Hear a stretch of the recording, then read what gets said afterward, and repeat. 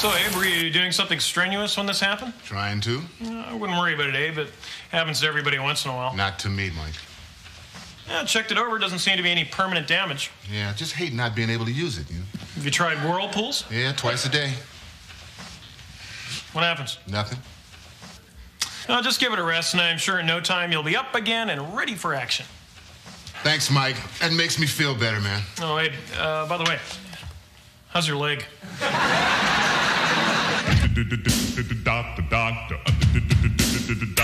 I was feeling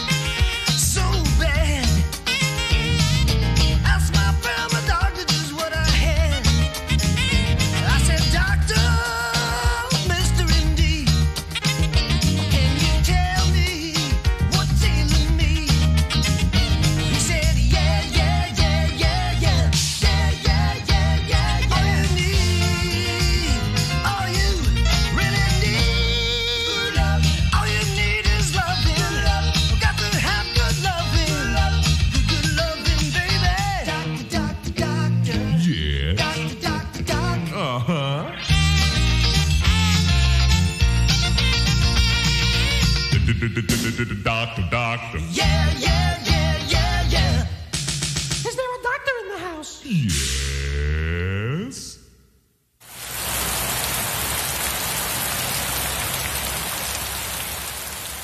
No, Nurse Barilski's not in yet. She can pick up her G string now? okay, I'll tell her. Didn't know Faye played guitar.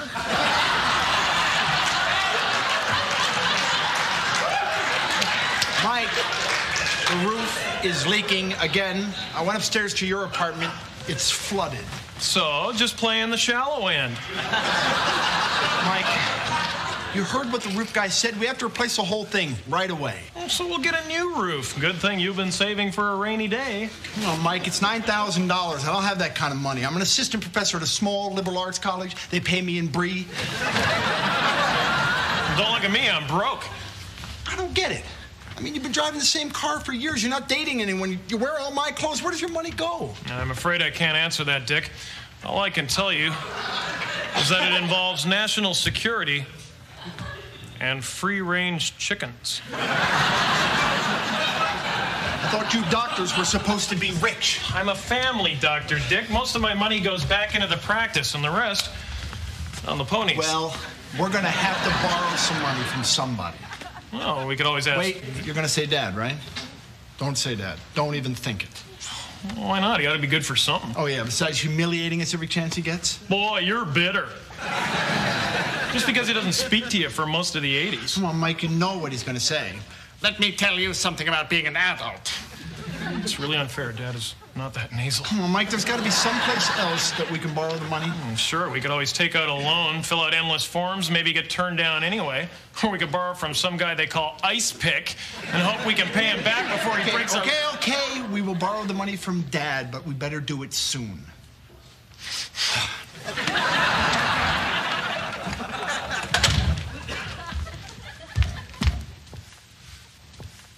Deirdre, how many times do I have to tell you the club soda is not for drinking? It's for stain removal. Okay?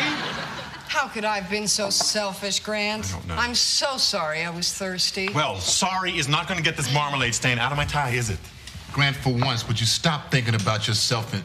Oh, who am I kidding?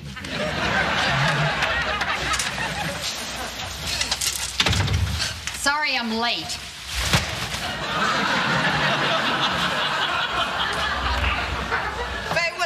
Happened to you? Trouble in paradise. I broke up with Dana this morning. You know, I'll tell you something. Every time I think I've seen as low as a man can go, along comes another one who's even more depraved than worthless. What do you mean, this? No, no, I just didn't have time to change my uniform. Dana wanted to play chain gang nurse and escape convict this morning. Again. Like I don't have any other outfits, you know? Well, at least you got out with your dignity. Yeah. I was with Dana for 12 years. 12 years. So long I was married to Gail. Yeah. What have I got to show for it? A couple of tattoos, about six dozen bowling trophies, and this one hickey from last October. I, I thought that was a rope burn. Yeah, it might be. But, Faye, what, what about the good times? I mean, the memories, the history. Yeah, I got all that. But one day you just look over and you go, hey, this is stale. Right now, somebody better say, Abe, that's not the reason your wife left you. Right now. Don't be so sure. Dana and I got into a rut. Listen, at this point, I'd rather just stay at home alone in front of the tube. Yeah, television. Isn't it great? Television? Who said anything about television?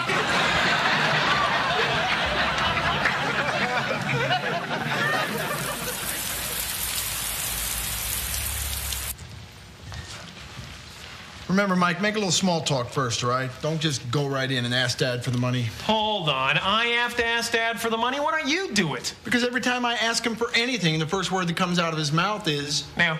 Dad, could, could I have a little help paying for my college tuition? No. Dad, could I have a little red wagon? No. Dad, could I call you Dad? No. You're right. Maybe I should ask him for the money.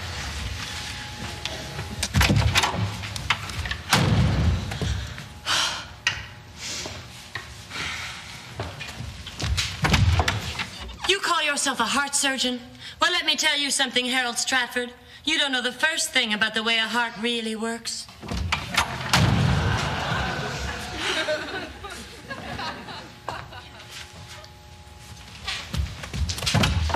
This is it. I'm leaving. We will never speak again. Ever.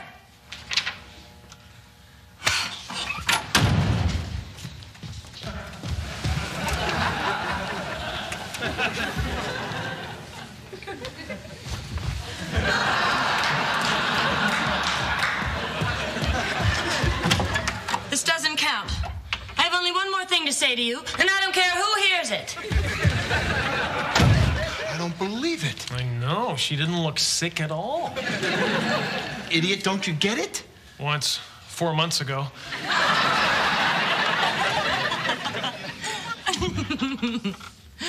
Oh, darling, you know I do.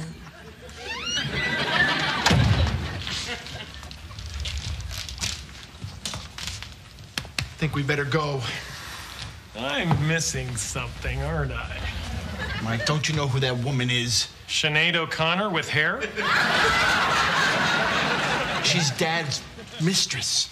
Dick, this is Dad we're talking about, not some character on The Bold and the Beautiful. You and your soaps. I think I'm wrong, huh? I know you're wrong. Okay, then why don't you just ask Dad when we see him? huh? Okay, I will. Ask me what? Dad. Dad. Michael, Richard. So much for the formalities. Now, what do you want to ask me? Maybe we should move this into your office. Oh, how exciting. All right, go on in. Let's get it over with.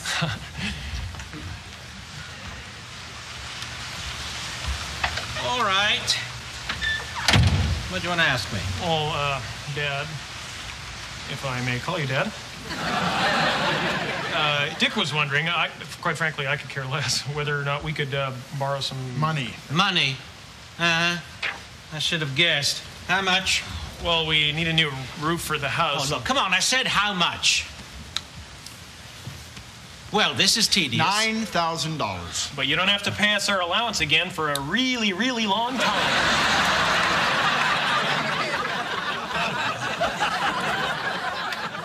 Let me tell you something about being an adult. Oh, God.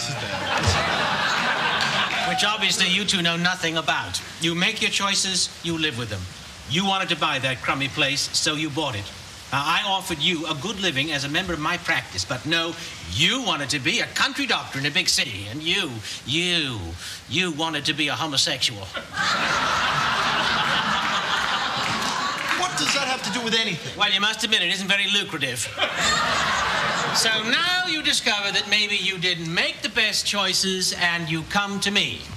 Well, I'm going to give the two of you something a little more valuable than $9,000. $10,000? The courtesy of treating you like adults who can solve your own problems. Oh, that's what you gave me last year on my birthday. Yeah, uh, well, believe me, it was a lot more than you deserve. By the way, your mother says she hardly ever sees you these days.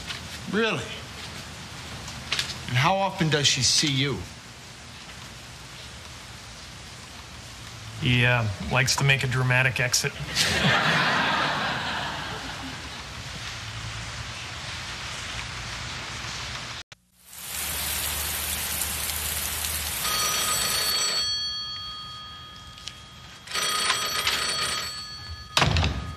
Faye?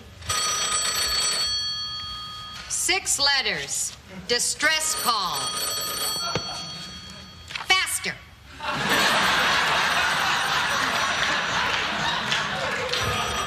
Faye, are you gonna answer that? No, it'll stop. See? We pay her? Faye, honey. I know this job gets a bit tedious, doesn't it? But so you have to answer the phone, otherwise we don't know who's calling, do we? Yes, we do. It's Dana.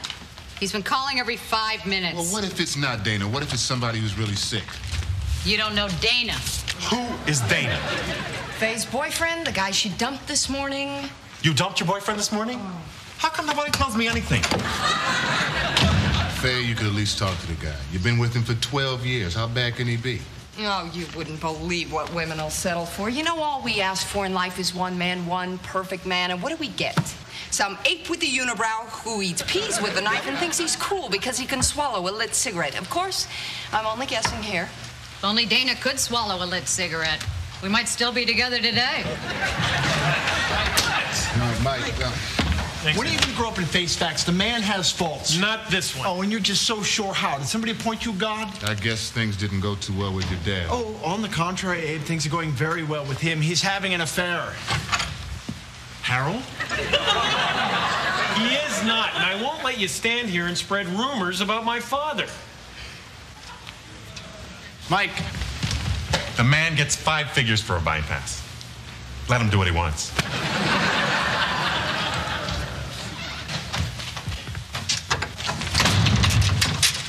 Mike, we are getting way too emotional about this thing with Dad. All we got to do is be calm and rational and mature and discuss what we saw. Okay. Look, all we heard was what the woman said. You call yourself a heart surgeon? Well, let me tell you something, Harold Stratford. You don't know the first thing about the way a heart really works. We don't know what Dad said. We can only guess.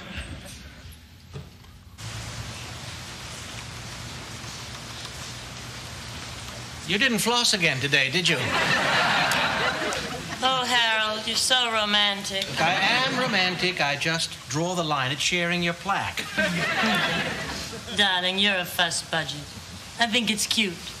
I promise you, when you make an honest woman of me, I will floss every day. Phew. Another few minutes of this, I'm gonna need a cold shower. I'm just trying to be realistic, Mike. You know how Dad gets about personal hygiene. And as for promises, when are you going to make an honest woman of me? Must we have this conversation every day? That's what this is to you? A conversation? Hmm. No, of course not.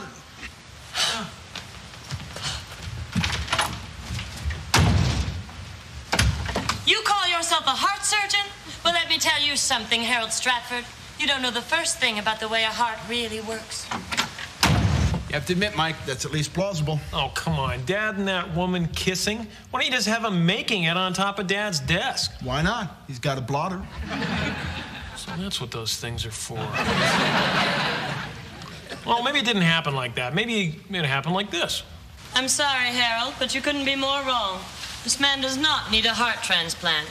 I'm recommending angioplasty. You're telling me this woman is a heart surgeon with those fingernails? Come on. Oh, fine. Kill the man. I barely know him. God, you're cold. When I think of all the patients I've referred to you. Four. You referred four patients. I can get more in one good evening at a steakhouse.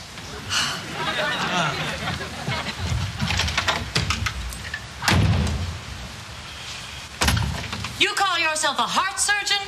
Well, let me tell you something, Harold Stratford. You don't know the first thing about the way a heart really works. Not bad, not bad at all. So, uh, you admit you were wrong. Not so fast, counselor. Aren't you forgetting something? Oh, darling, you know I do. No, I do what? Oh, come on, Mike. You know that no conversation about bypass and referrals and heart stuff is going to end with, oh, darling, you know I do.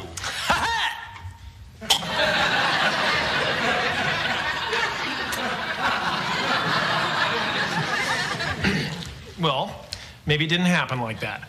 Maybe it happened like this. I have only one more thing to say to you, and I don't care who hears it. Look, these histrionics are all very amusing, but you're forgetting one thing. I'm the specialist here. You asked for my opinion, I gave it to you. You can ignore it if you want. If you're smart, you won't. The question is, which of us knows more about the situation?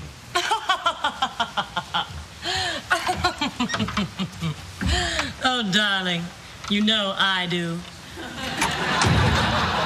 I don't know, Mike. That's not the way I heard it. I could have sworn she said, oh, darling, you know I do.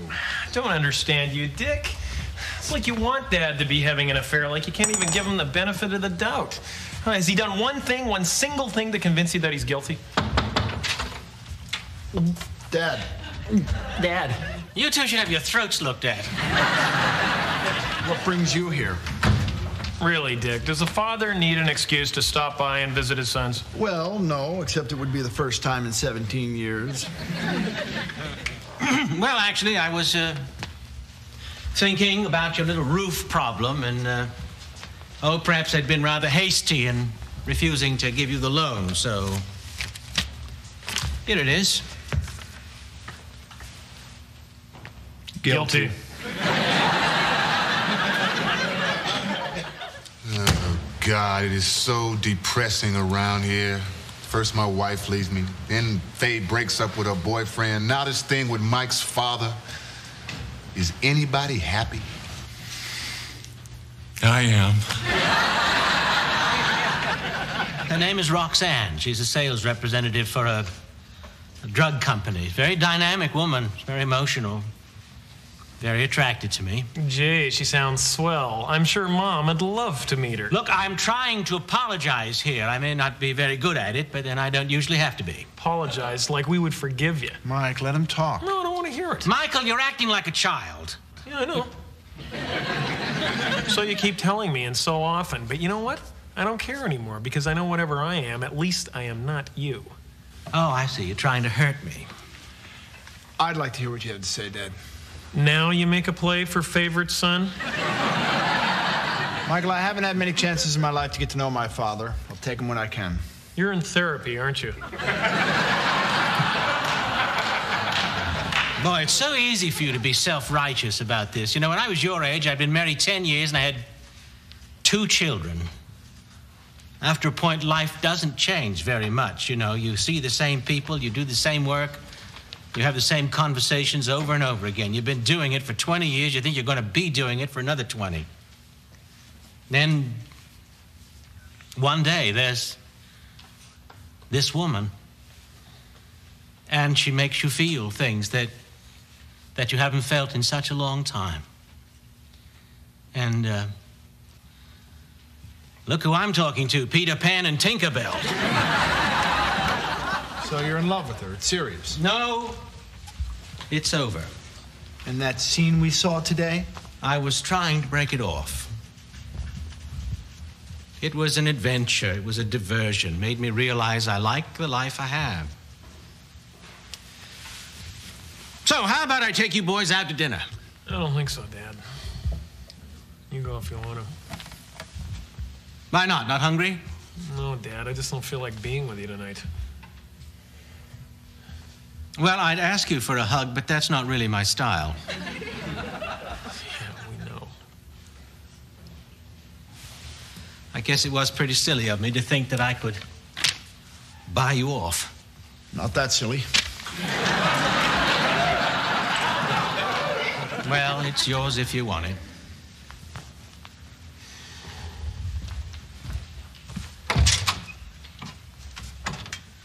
Don't hate me.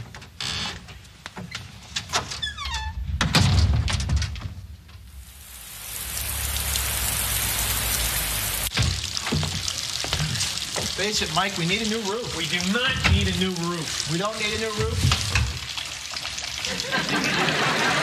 No? What I need are some tropical birds and a talking hippo to complete the rainforest effect. Mike, we got no choice. We gotta cash Dad's check. If we cash Dad's check, it means we forgive him for what he's done. And if we don't, we drown. Hmm, what a fascinating existential dilemma. Michael, he said it was over. Until the next affair, and the next one, and the next one after that. Yeah, and $9,000 a pop, maybe we should encourage him, huh? It's not funny, Dick. can see you're not going to get over this easily, are you? Are you? Well, to be honest with you, it doesn't surprise me all that much. And I've known for a long time what a selfish person Dad can be. I think you just figured it out for the first time today. That's not true. I know that Dad wasn't the world's greatest father. Not one of those guys who came to every Little League game. Or any. Never tossed me his car keys on a Saturday night. Yeah, son, have a good time. I remember when he told me there was no Santa Claus. I was two. But this. Okay, Mike, okay. Hold the grudge. But how is that going to fix the roof? Let me tell you something about Mike Stratford, mister. Mike Stratford would rather stick to his principles than have a roof over his head. Mike Stratford would do the backstroke through his living room before he would cash that check. Mike Stratford. Let me tell you something about Richard Stratford. He's glad he lives downstairs. I'm just going to leave this here. Just in case you change your mind.